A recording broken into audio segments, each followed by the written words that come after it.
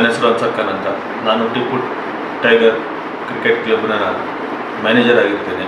ನಾವು ನಮ್ಮ ತಂಡದಿಂದ ವಿಭೋ ಮೂವತ್ತೆಂಟು ವರ್ಷದ ಆಟಗಾರರಿಗೆ ನಮ್ಮ ನೆಹರು ಕ್ರೀಡಾಂಗಣದಲ್ಲಿ ಒಂದು ಟೂರ್ನಮೆಂಟನ್ನು ಆಯೋಜಿಸಲಾಗಿದೆ ದಯವಿಟ್ಟು ಅಂಥ ಆಟಗಾರರು ಯಾರನ್ನು ಇದ್ದರೆ ವಿಭೋ ಮೂವತ್ತೆಂಟು ವರ್ಷದ ಸೀನಿಯರ್ ಸಿಟಿಜನ್ ಆಗಿರುವಂಥ ಆಟಗಾರರು ಬಂದು ನಮ್ಮ ಟಿಪ್ಪು ಟೈಗರ್ ಕ್ಲಬ್ನಲ್ಲಿ ಬಂದು ತಮ್ಮ ಹೆಸರುಗಳನ್ನು ನೋಂದಾಯಿಸಬೇಕು.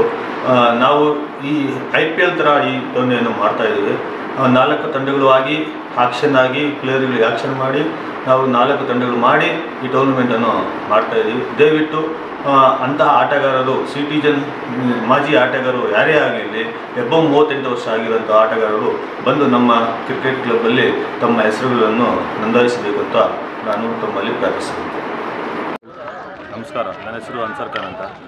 ನಾನು ಶಿಡ್ಲಘಟ್ಟದ ಹಳೆಯ ಆಟಗಾರ. ಅಂದರೆ ನಾನು ರಿಟೈರ್ಮೆಂಟ್ ತೊಗೊಂಡಿದ್ದೀನಿ. ಆದರೂ ಇವಾಗ ನಮ್ಮ ಇಲ್ಲಿ ನಮ್ಮ ಯುವಕರು ಏನಂದರೆ ಒಂದು ಟೂರ್ನಮೆಂಟನ್ನು ಆಯೋಜಿಸಿದಾಗಿದ್ದಾರೆ. ಎಬೌವ್ ತರ್ಟಿ ಏಯ್ಟ್ ಇಯರ್ಸ್ ಮೇಲೆ ಅಂದ್ಬಿಟ್ಟು. ಯುವಕರು ಎಲ್ಲ ಸೇರಿ ಆಡ್ತಾಯಿದ್ರೆ ನಮಗೆ ತುಂಬ ಖುಷಿ ಆಗ್ತಾ ಇತ್ತು. ನೋಡಿ, ನಾವು ನಮ್ಮ ವಯಸ್ಸಾಗ ನಾವು ಹೀಗೆ ಆಡ್ತಾ ಇದ್ದೀವಿ ಅಂದ್ಬಿಟ್ಟು.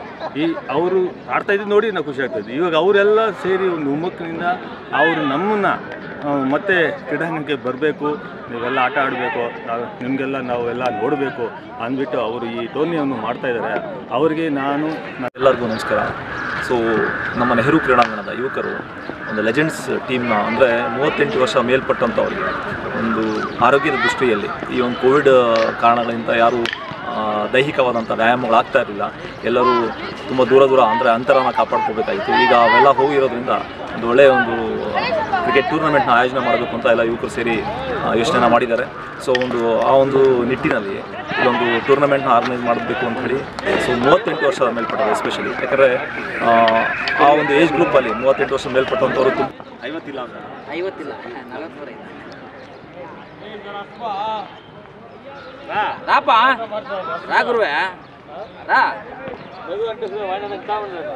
నువ్వు వస్తే నీకు